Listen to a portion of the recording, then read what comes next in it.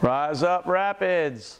All right, we got another video coming for you. This time we are celebrating some of the special accomplishments that came from the Swim and Try Winter Championships hosted by H2Okie Swim in uh, Christiansburg in December.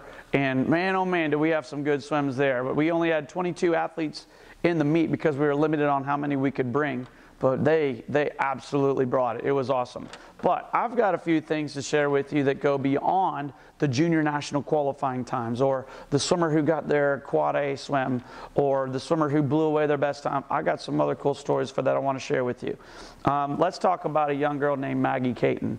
Right, so Maggie earlier in the week she had broken her pinky finger, and Maggie's only 11, and Maggie is about the size of my pinky finger to begin with. So you can imagine how much losing a pinky finger and having her, her uh, fingers taped together made swimming difficult. Right on day one, when she came straight from the doctor, she was ready to get back in the water. And this was only a few days before the meet. Didn't even once let it enter her mind that she wasn't going to be able to do well. And it did hold her back, there's no doubt about it. But she just kept plugging. She kept a great attitude, kept listening to the advice, and kept plugging, and actually ended up with the best time over the weekend when she had every reason in the world not to. So, Maggie, very proud of you. Keep up the great work. Uh, we did have a lot of other swimmers who overcame some adversity throughout the weekend. You know, when we were in Warrenton, we had a large crew. It was really energetic. It was really exciting. We were in Christiansburg, a lot smaller crew, right? So if one swim doesn't go the way some of us wanted to do, it really affects the entire crew. And we had a, a few situations where the swimmers were, you know, not feeling very happy or they weren't, you know, really particularly proud of the swim that they had. And in just about every single situation, we had a good talk, and the swimmers figured things out, and they rallied behind each other and ended up having a lot of really great races.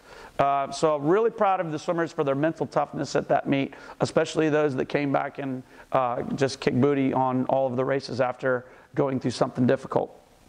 I do want to give a quick shout out to uh, Poseidon.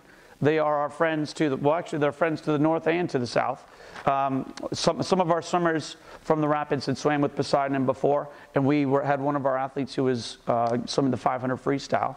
And we had a, uh, one of our swimmers was supposed to count for that athlete, but I think they got caught up uh, in getting ready for their race, and they had uh, missed counting. And the Poseidon swimmers just, without even hesitating, jumped right up and grabbed the the counter and started counting and actually had three or four of them cheering for the swimmer that was in the water. I love that. I want to see that good, positive relationship with our rapid swimmers and all the swimmers in the area. So, Poseidon swimmers that counted, thank you so much. You guys are awesome. Uh, we did have another swimmer who learned a really great lesson. This is one of the weird things about swimming, but when you're a young boy, uh, you know, teenage boy, for example, and you're looking to swim really, really fast, it sounds kind of old school, but it's, it still works. You got to shave. You got to shave your legs down. It really does. And people think, how much does shaving that hair really matter? Well, it's a whole lot more than that. I'm not going to get into the science behind it, but it works. And a young man named Blake Newton, who's 13, and I totally understand. He was weary about it. He wasn't really sure. And he's like, I don't really know if I want to do it if, it, if, I, if I don't know if it works.